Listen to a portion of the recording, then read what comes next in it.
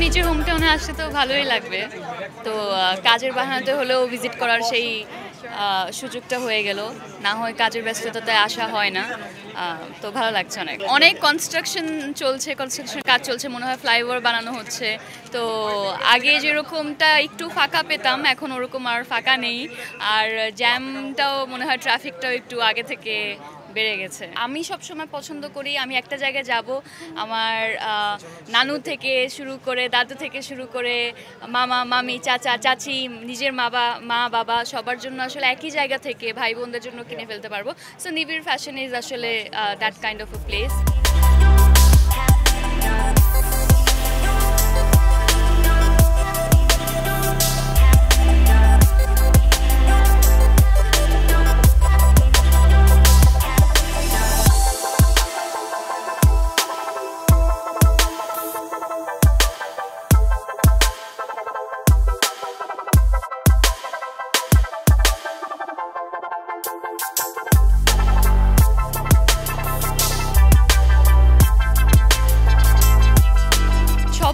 প্রতি প্রত্যাশা বলতে